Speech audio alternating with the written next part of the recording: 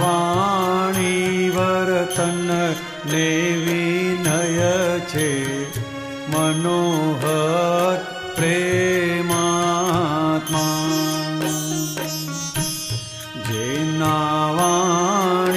वर्तन्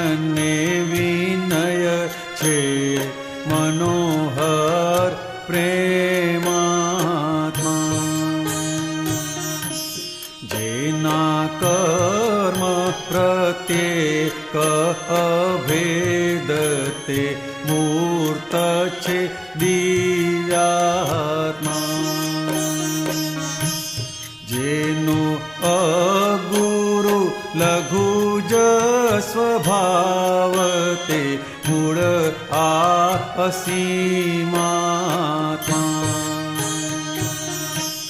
जेनो सूक्ष्मतम सरस्वती स्पर्शते मौन असंज्ञात्मा जेनि मात्र अवस्था निर्द्वन्द्व ते केवल प्रगटात्मा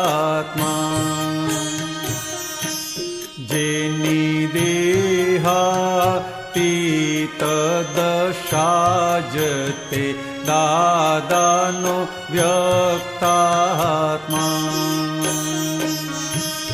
जेनो व्यक्त प्रगट दिवोते केवल्या शुद्धात्मा। जेनो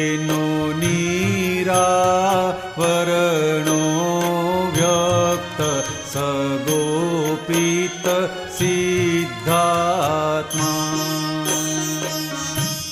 जेना सूचर नो माज मोक्षते मूर्त अमूर्तात्मा।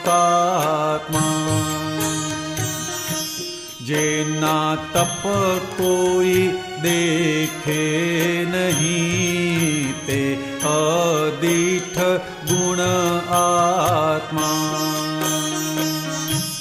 जेनि मात्र क्रिया अन्तर्मुखते ब्रह्मनिष्ठ मोक्षात्मा। जेनि सामायिकति मोक्षते अक्रम अज्ञानात्मा जेने वर्ते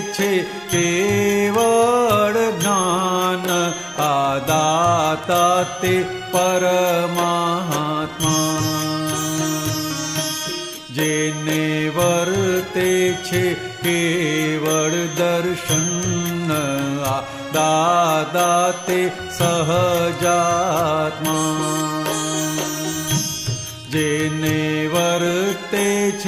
केवल चारित्र आदादा स्वधर्मात्मा जेना मात्र समय पलतपते रत्नत्रय पूर्णात्मा। परम ज्योति स्वरूप भगवान ते सिद्ध दादा परमात्मा। जेनी व्याख्या नथी शब्द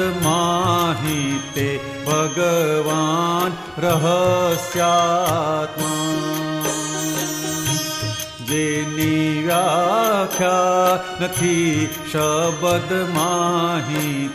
ભગવાન રહસ્યાત્મા તે ભગવાન રહસ્યાત્મા તે ભગવાન રહસ્યાત્મા